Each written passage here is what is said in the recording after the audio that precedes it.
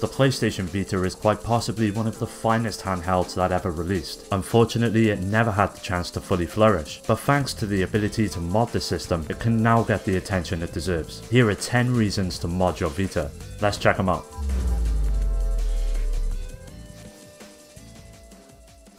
The main issue that many people had with the PlayStation Vita was the astronomically overpriced memory cards that the device required. It was a real chore having to constantly delete and re-download your favourite games due to the limited amount of storage that they offered. Thankfully once you mod your Vita it is now open to a much more cheaper type of memory in the form of SD cards. By using SD2Vita adapters which are now widely available online, it allows you to leave your memory woes at the door and have access to an insane amount of storage without ever having to worry about carrying extra cards with you or shelling out for more overpriced memory. With all the ROMs, tweaks and changes you'll be making to the Vita, it's a good idea to get a decently sized card, and with them being so cheap nowadays, there's bound to be one that suits your needs at an affordable price.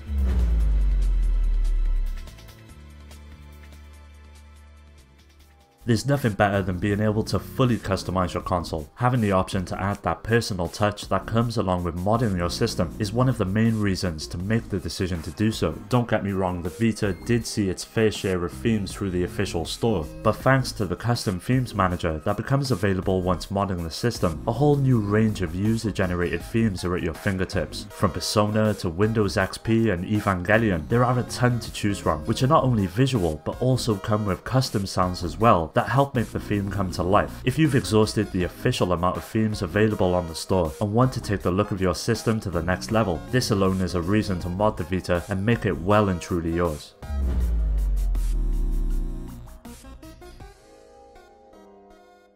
Quite possibly, quite possibly the main reason to mod your Vita has to be the ability to emulate. Thanks to the work of the dedicated community, there are so many options when it comes to this aspect of modding the device. From NES to the Super Nintendo, Game Boy, Game Boy Advance, the Neo Geo, N64 and Mega Drive, and so much more. It turns the Vita into your one-stop for playing a whole host of games from the past, especially the PSP and PS1, which allows you to play any of the titles that released, including the ones which weren't on the official store. With save states, filters, screenshots and cheats, there is a ton of functionality baked into each emulator. There are several options as well, such as RetroArch which conveniently gathers them all into one place, or specific emulators for certain machines if you prefer that method. It really is a great way to relive the golden years of gaming, conveniently packaged all into a robust and well designed device. So if you're on the lookout for a handheld emulating machine, the Vita would make a great choice.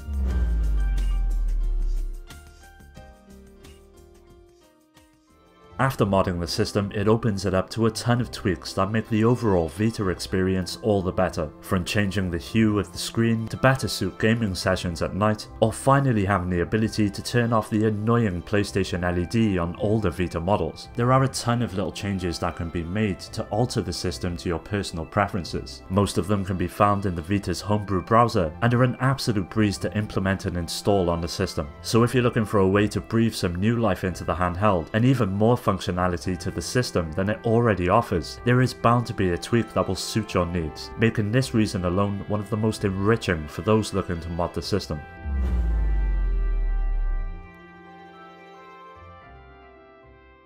One of my biggest gripes with the Vita is the awfully small buttons, which at times are quite cumbersome when it comes to playing games. Thanks to modding your Vita, there is a way around this common problem, and that is by using a feature known as DS4Vita. As you would expect, it allows you to hook up the DualShock 4 with a Vita and use it as the main input device. This alleviates the issue with the Vita's small buttons, but you'll have to find yourself a stand or a dock for the system in order to use it effectively. Now this won't be for everyone, as not all the people who own the system have a problem with the buttons, but I for one found it a worthwhile inclusion after modding the system, and it's allowed me to enjoy some of the games on the system in a much more comfortable way.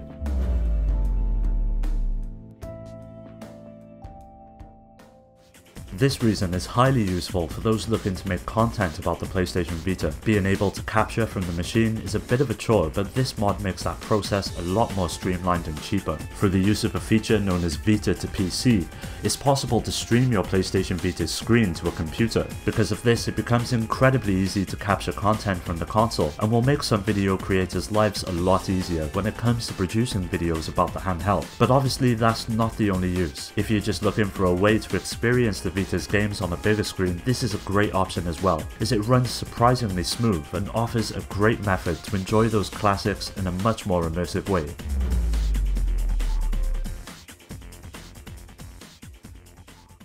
One of the best features that comes along with modding your Vita is having the ability to change the handheld into a Steam Link machine. Known as Moonlight, the setup process is surprisingly quick and easy, but it does come with some limitations. For starters, on the PC side you need to have an Nvidia GPU, as this mod will not work with any other cards. Preferably a GTX 650 or better will do in order for the mod to run correctly. It essentially turns the Vita into an Nvidia shield and allows you to enjoy a whole catalogue of PC games, from Fallen Order to Halo and KOTOR, the options are limitless which really helps expand the amount of games at your fingertips and makes the Vita a formidable streaming machine. If you have an extensive Steam library and a modded Vita in your hands, waste no time in setting this mod up, it will not disappoint.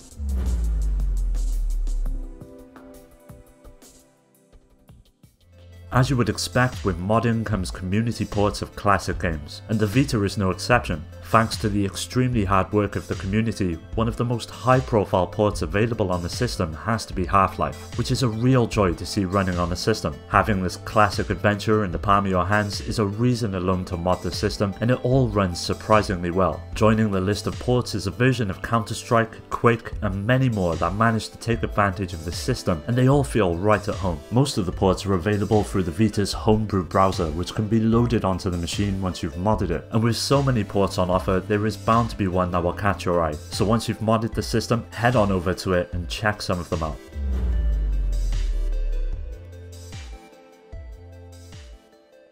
A lot of great games on the Vita never managed to make it to the West, which makes importing and trying to enjoy them all all the more difficult due to the language barrier. One main reason to mod the system is that it gives you the ability to implement English patches for many of these games. By doing so it opens the gates to a flood of experiences that otherwise would have stayed in Japan, and allows those from the West to enjoy them in their entirety. If you're like me and are a fan of all things Japanese, then this reason will be one of the most satisfying, as we missed out on some real great games such such as Uppers and Macross to name a couple. The process is incredibly simple as well, which makes it one of the easiest ways to finally give these gems from the East a go.